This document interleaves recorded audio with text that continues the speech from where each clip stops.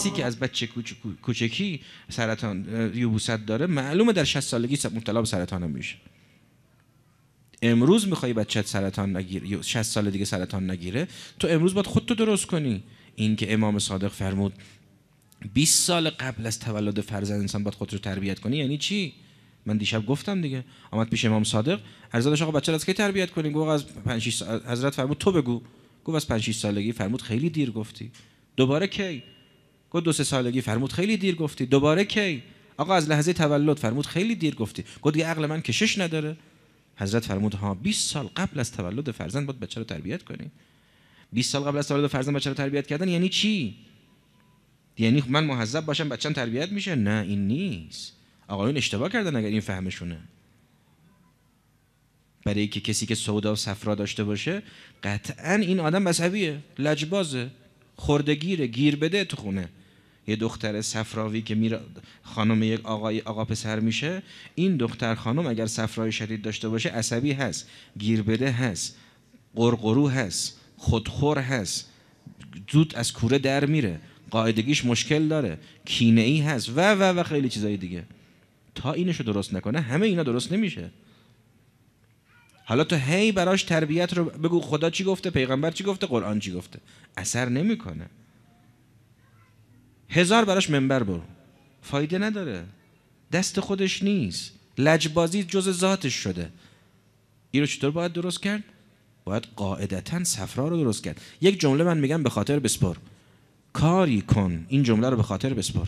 کاری کن.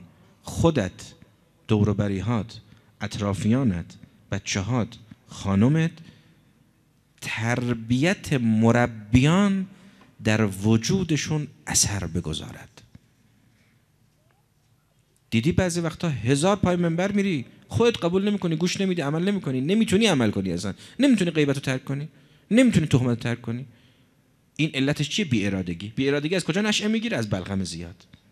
رطوبت مغز زیاد انسان بی اراده میشه. آدم بی اراده غیبت زیاد می‌کنه. یادش نمیاد که خدا گفته در غیبت یعنی چی؟ تهمت یعنی چی؟ هوش ذهنش و ذکاوتش کمه. کزم قز نمی‌تونه بکنه. دل میشکنه مزاج سر باید سرد و تر باشه.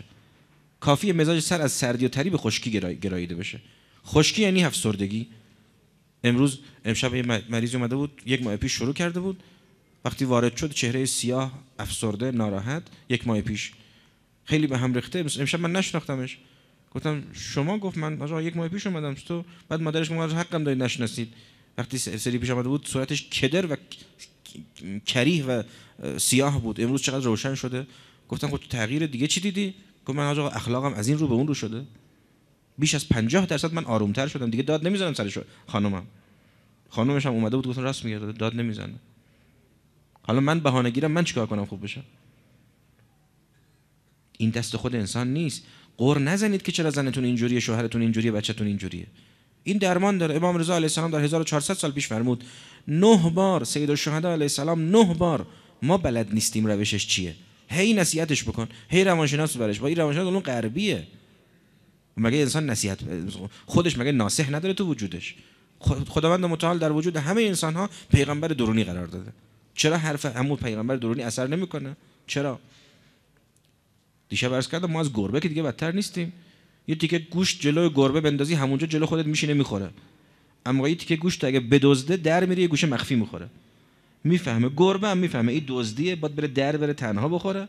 این حلال جلو صابخونه میچه بخوره. وقت من تو نمی‌فهمیم؟ بچه نمی‌فهمه؟ دختر پسر من تو نمی‌فهمه؟ خوب می‌فهمیم. دست خودمون نیست. کسی که قلبه دم داره دست خودش نیست. عصبی میشه صداش میره بالا.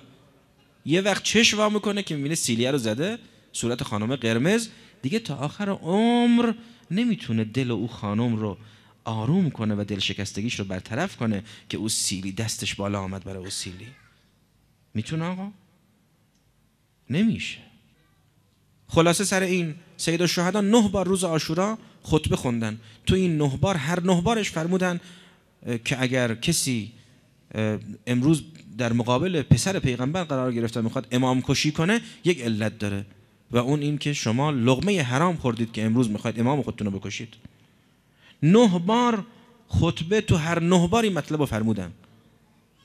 امام رضا علیه السلام تو این کتابشون در 19 صفحه نه باری مطلب رو تاکید می‌کنن. میفرمان اول ببین چه مزاجی داری بعد برو غذا تو انتخاب کن تدبیر کن در غذا خوردن. این چه مزاجی داری؟ الان اینجا یه چیزی نزدیک 350 نفر آدم نشستن. اونور خانما نمی‌دونم چقدر نشستن.